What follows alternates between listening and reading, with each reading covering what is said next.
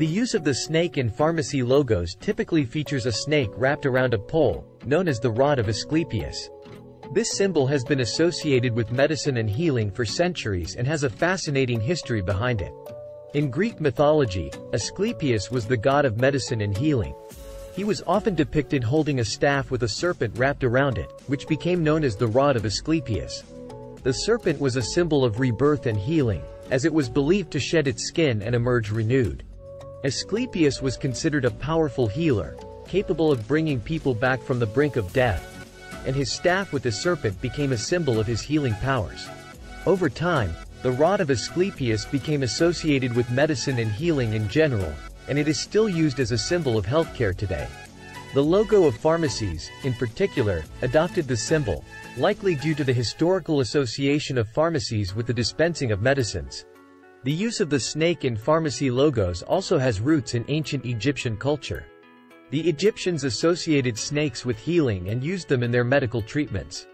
They believed that snakes had the power to heal and protect, and they often depicted them in their artwork.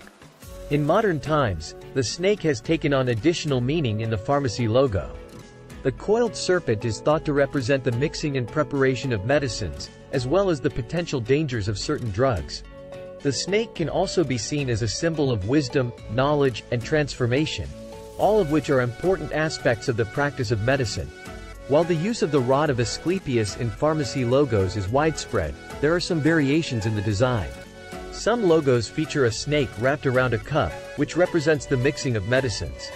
Others feature two snakes intertwined, which is known as the caduceus, and is associated with the Greek god Hermes. The caduceus is often used as a symbol of medicine in the United States, but it is not as widely recognized as the rod of Asclepius. In conclusion, the use of the snake in pharmacy logos has a rich history and is deeply rooted in the mythology and culture of ancient civilizations. The symbol has come to represent healing, transformation, and knowledge, making it a fitting emblem for the practice of medicine. Whether it is the rod of Asclepius or the caduceus, the snake is a powerful symbol that continues to be used in pharmacy logos today. Thanks for watching.